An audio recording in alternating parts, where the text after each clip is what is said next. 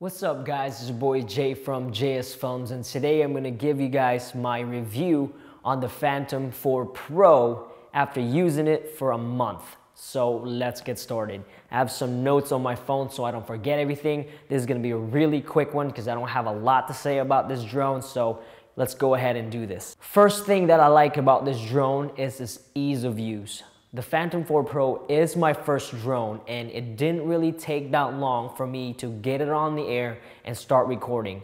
My third video was like fantastic. I didn't need to learn a lot. I didn't look in the manual or look it up as much.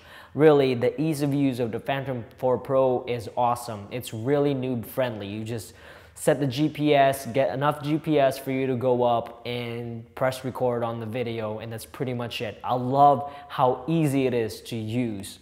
The next thing that I like about the Phantom 4 Pro is the image quality.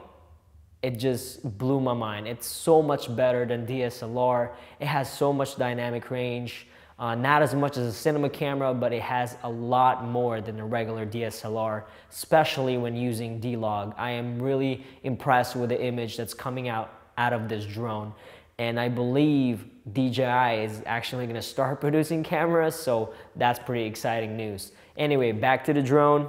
Third thing that I like about this drone is manual exposure controls. It's amazing. Being able to adjust your exposure and don't have to worry about automation. It's just amazing. You can get really good image out of the camera if you're using manual exposure. You can set your aperture, you can set your ISO and your shutter speed. And this is one of the reasons why I pulled the trigger on this drone because of the manual exposures.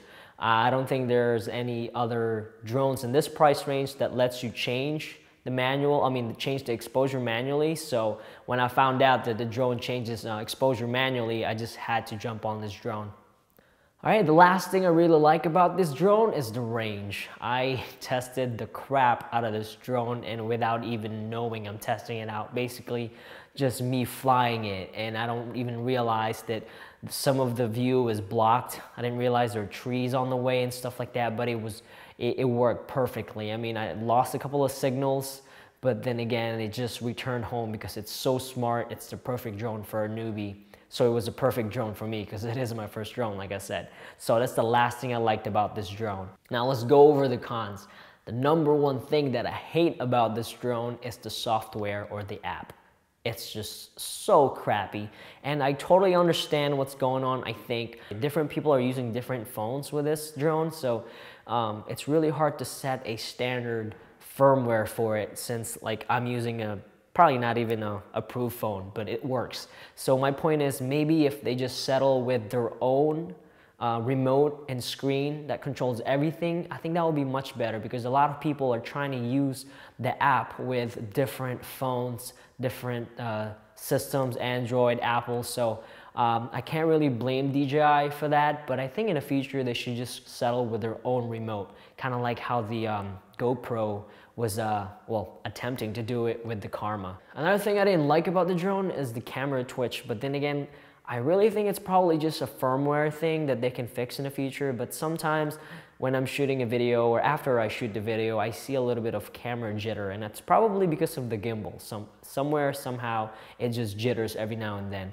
Um, I mean, it doesn't bother me as much because, you know, I can just edit it out, but I think they should uh, fix that ASAP because it is quite annoying to some people probably, but for me, it's all right. It's not that big of a deal. Last thing I didn't like about this drone, well, it's not really like a big deal, but I think the automated uh, modes are just pointless. Just the follow me or whatever, all that stuff.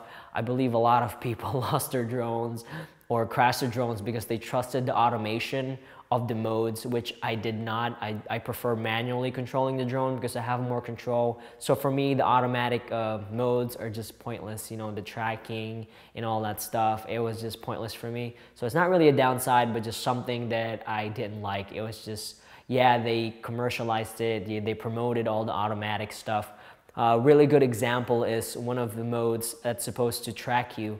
Um, it doesn't it automatically changes your exposure settings. I'm not sure if it's just a bug, but that annoyed the crap out of me, so I just did not use that automatic feature, which is the tracking. So that's pretty much all I have for you guys today. Overall, I think the drone is fantastic, especially for newbies like me who didn't really know anything about drones. The drone is so smart that you can just really unpack it, put it on the ground, put propellers in it, turn it on, and just fly it, as long as you have GPS, of course.